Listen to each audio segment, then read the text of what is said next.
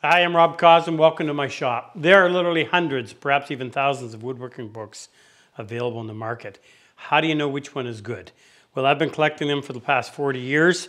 I went through mine and picked out a stack that I think are the most valuable. I'm going to share them with you. Hopefully, this will help. I'm Rob Cosman, and welcome to my shop. We make it our job to help you take your woodworking to the next level. If you're new to our channel, be sure to subscribe, turn on that notification bell, and don't forget to turn on the notification on your mobile device so you'll know every time we release a new video. Good? All right, back to the bench. When I started woodworking, obviously we didn't have internet and there wasn't a lot of local reference, so the only thing you really had were magazines and various woodworking books. And I'd started collecting books at a very early age, and you never really knew what, what you were going to get until you actually bought it. I went through my, my very vast library and I picked out the ones that I've used the most over the years, that I've got the most out of, and I still go back to occasionally. So here's my number one Encyclopedia Furniture Making by Ernest Joyce. Originally published in 1971. Now, Ernest Joyce was a uh, traditionally trained cabinet maker in England, and this book I think does a better job of covering everything related to hand and or power tool woodworking that you can find.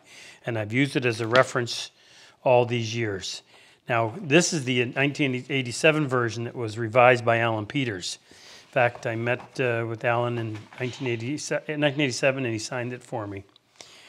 Uh, what I actually asked him about some of the things in the book, and he said, well, all he really did went in did was go in and update some of the pictures and add some commentary on some styles. But for the most part, he left the book as it was. But if you go through this, this is not something you're going to sit down and read cover to cover. It's got a really good index, but you'll go in and you'll find things. Now, this is all mostly English wood. Well, it is predominantly English woodwork, so you're going to see that influence quite strong. But it covers everything from building church furniture to uh, some of the more modern stuff that was being made at the time to some very traditional stuff. But and Alan actually added the color section, which has got some nice work in there. Some pieces I really like. Shapes, way, various ways to treat edges. Now, you're not going to get the very best reproduction of things like burl on a black and white, but it'll give you some idea. Lot about veneering it just covers everything. And I've adopted a lot of what's in here into my own woodwork and the style that I, I uh, use and teach today. But if there was to be one book that I would save in case of a fire, when it comes to woodworking, that would be the one. next one I want to share with you is Woodworking by Ian Kirby. Now, this was a series that he had started back in the 70s, 80s, I believe. Never got all the way through it. I got the first two, book one and book two. Plane perfect.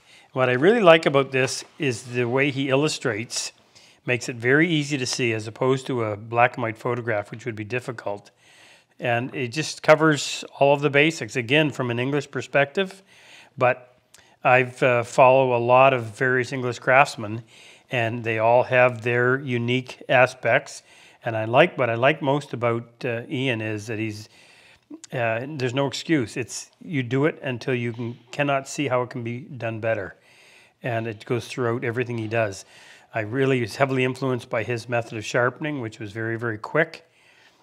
I'll leave you a link to my 32 seconds to sharp. A lot of that I would have adopt, adopted from him, combined with some stuff I learned from Alan, or pardon me, from uh, David Charlesworth. So this is a really good one if you can find it. I don't even know if it's available in, in secondhand, but that one was plane perfect, and this was down to a line. So this is more about cutting edges, planes and chisels, and this is more about sawing, but gives some great advice. Everything from coping saws to power saws, table saw blades to ripping and cross-cutting blades, uh, saws. Just awesome material some of the best. Okay, I'm going to veer a little bit away from actual woodwork to uh, more in talking about wood. Eric Sloane wrote this. He wrote several books, but this one, Reverence for Wood. I've always liked this. And the reason I do, it gives you so, it tells you uh, so much detail on things wood related that you just wouldn't otherwise find. Whether it's talking about how to identify various trees, to various uses for, um, or how they would make various farm implements. This is a little bit of on shaker boxes, how they make charcoal. I just find this stuff, being a wood nut, very interesting. Even talks about fencing. Here's an interesting one on the amount of heat you get out of a cord of wood, or how much, how much heat you get out of a specific amount of wood if you compare it. So white pine over here, hickory on this end. And then it talks about how much wood was being used in the middle of the 19th uh, century. And no wonder uh, forests were depleted because they used it to uh, everything from the railroads to people's houses. And in fact, got to the point where in New England they used mostly white pine because all the hardwoods were being chewed up. And there's, there's uh, lots of stuff in here on um, timber framing, just uh, even how to make how cut nails were made, just all kinds of really interesting. This is one of those books where you pick it up and you read it all the way through, just because of the interest in it. Talking about how when I say you find all kinds of stuff that you just wouldn't otherwise find. There's one in here about why nails pop out on on wood siding, or in this case, it comes to shingles. Really interesting stuff. So you can find that. That's a that's a great read a reverence for wood. So in 1987, I got to work at Anderson Ranch Arts Center, and one of the uh, people I got to be an assistant for that summer was Tage Frid. And uh, even as long as he had been in the United States, and by 1987, his accent was still extremely thick, so you had to be around him a while before you could understand what he was saying. But the way that he wrote his series of books, there were three of them. This is the only one I have. This is one that I like the most it was just really easy to follow because in, in his line drawings, he would just use um, red ink to follow you through from one step to the next. Found it very easy, very easy to follow. Probably a little more machine related than hand tool, however, there's a fair amount of hand tool in there. But it's another really good reference book. Now, he was from Denmark, called himself the Great Dane. So his his material is going to be a little bit different than what you're going to get from uh, Ernest Joyce or Ian Kirby, but still some great information, fantastic. I believe this book is still available, and I would highly recommend that you would want to add that to your reference library. Hey, if you like this video, we have more. Our monthly newsletter has subscriber-only content, discounts monthly on tools, and anything we bring out that's new, subscribers get first crack at it. Click on the link below. Let's get back to work. How to Build Shaker Furniture by Thomas Moser. Now, I met Tom Moser a couple of times. The last time, sat down with him for a couple of hours and just talked. And uh, why I like this book, I went through a period in the uh, mid 90s where I was starving to death as a furniture maker, and I actually was doing a lot of other things trying to earn a living, carpentry related. And this book eventually brought me back around to building furniture. It's very, very simple in that everything is uh, black and white pictures with line drawings, but there's several pieces of furniture. Now, I really like Shaker furniture. I love the simplicity of it. I love the fact that the method of how it's joined is one of the main features, and it lets the wood speak. And there's plans, not necessarily detailed, but measurements for every piece in here. And I've gone, I went through, I, I guess I was at a period of time when I didn't really have the energy to uh, be designing furniture for customers. I was starving to death doing that anyway. And this was a way of going in and enjoying the woodwork without having to think about the design. I simply went in and built some of these, several of these pieces, probably uh, at least a dozen of them. And Tom Moser is still alive. You can still get this book. And if you're interested in simple furniture but well made furniture, because he doesn't just show you the furniture and uh, the plans, but he'll also talk to you and teach you in various ways of whether it's drawer construction or fastening a top to a table base. Lots of stuff in here. Very simple, very easy to follow. Really good book. How to Build Shaker Furniture, Thomas Moser. If you're new to woodwork, it won't be very long before your attention is turned to workbenches. It's, a, it's an essential tool. I, I picked this book up in the late 80s, and I think it's probably the best book that has ever been written on workbenches. It's called The Workbench Book by Scott Landis, published by uh, Taunton Press. And it goes through it, and the, and the back side, it gives you the detailed plans for four different benches Ian Kirby's bench, Michael Fortune's bench, um, a shaker bench, and Frank Klausz bench. I actually built this one using these plans. But it also gives you a lot of detailed information about benches, how they function, various lots of information about vices. It's just a really good reference. Highly recommend if you haven't settled on a bench, pick this up. Even if you have on a bench, I think it's great information and great reference for uh, customizing a bench or, and uh, going in and adding something that you may not find in a regular bench that may be specific to the type of woodwork you do. So Scott Landis, the Workbench Book. Excellent. This is the uh, only book that Alan Peters wrote. It is entitled Cabinet Making the Professional Approach. I personally think Alan Peters is the best designer craftsman of the last century.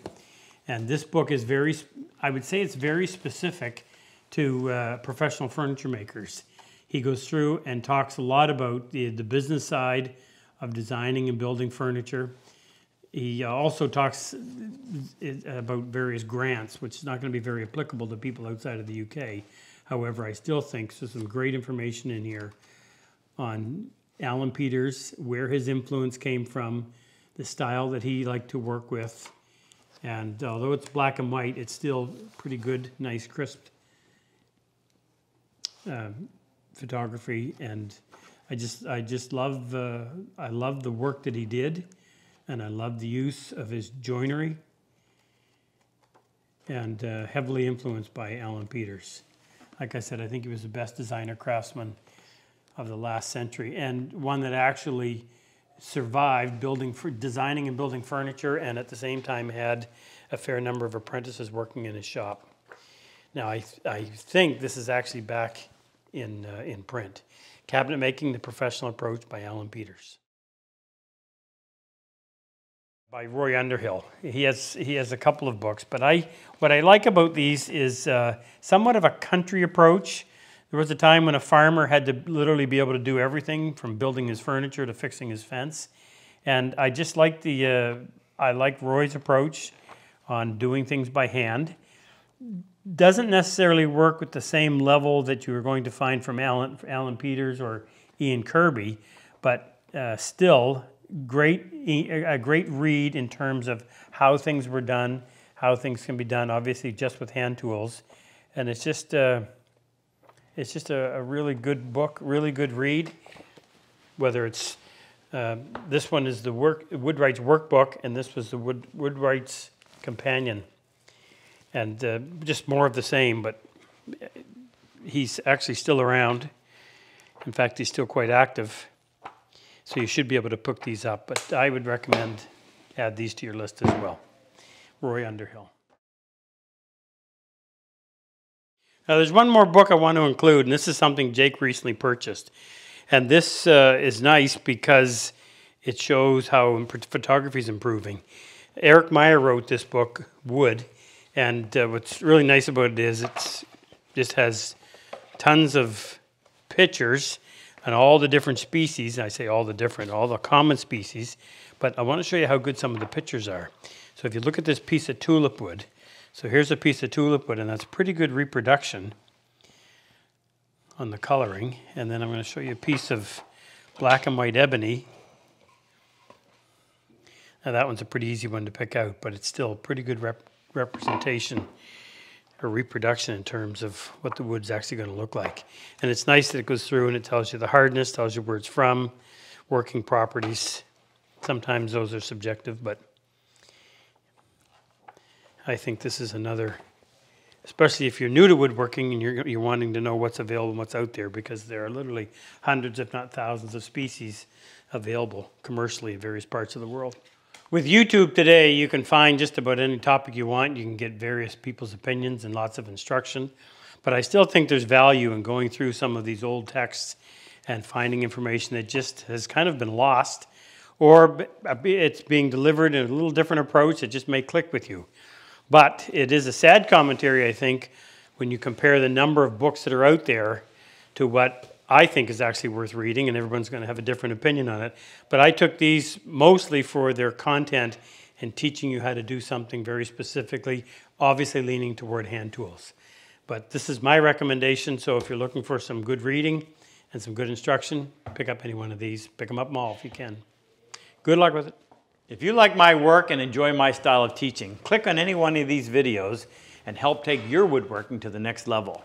I've always said, better tools make the job so much easier. If you click on the link below, the chisel and plane icon, it'll take you to our site and introduce you to all the tools that we actually manufacture right here in our shop. It'll also give you information on our online and in-person workshops.